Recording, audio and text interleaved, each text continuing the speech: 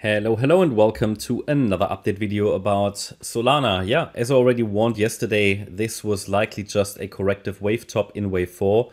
Uh, I put onto the chart yesterday for you a potential bullish wave count where we said, all right, look, if this really is a breakout, first of all, I need to see a break above the descending trend line to believe it.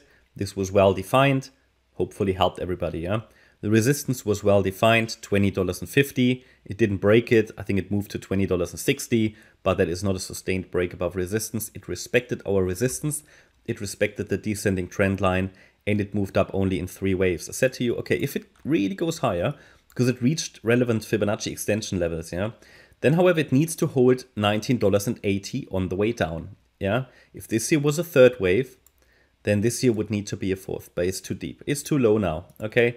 It, it came down already to $19.70, even though you could say, okay, but yeah, it's consolidating below $19.80. That was the 50% retracement level of the third wave. So it rather confirms my view that we still get another low, okay? Typical typical news fake out. Um, something we had here as well. I think I think that was not related to news, but that was related to the Visa news apparently yesterday, partnership stuff like that.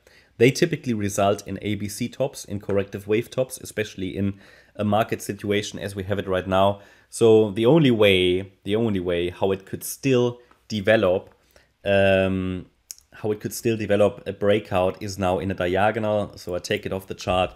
Diagonals, it can always move up, right? It can anything can always happen in these markets, but you can really only work with these roadmaps if you understand that everything is probabilistic and probabilities here did not really suggest an, a breakout yet. So it can of course still happen. Anything can happen, right?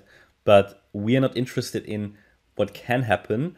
We're interested in what should happen because anything can happen. So you know what I'm talking about. I'm talking about everything? No.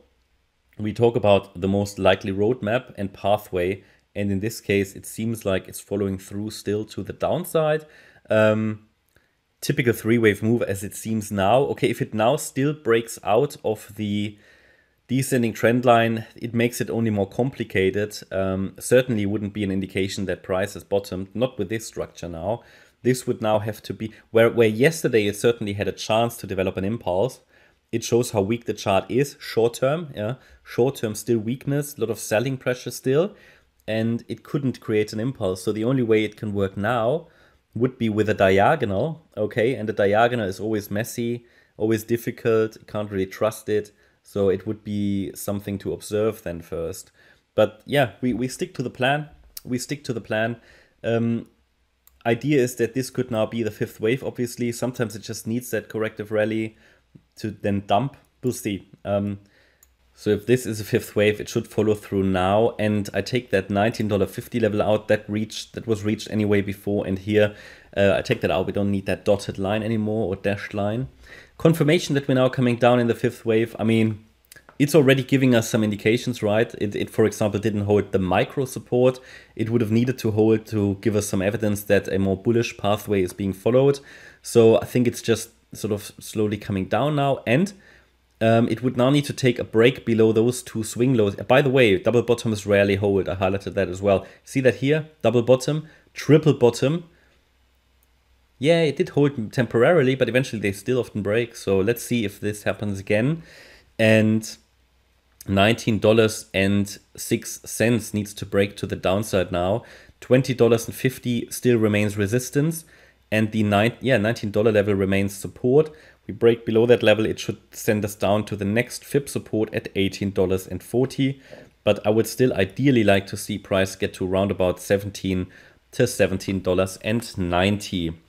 That's my update about Solana. I hope you liked the update. If you did, please hit the like button, leave a comment and subscribe. And if you really like the content, then please check out the channel membership. As a channel member, you can get access to our weekly live stream. Every Sunday we have a live stream, which is often educational. You get access to our Discord and Telegram service with chat rooms, a lot of additional content, and you can also get additional market updates if you're a gold member, plus a lot of, yeah, as I said, educational content, audio lessons, and stuff like that.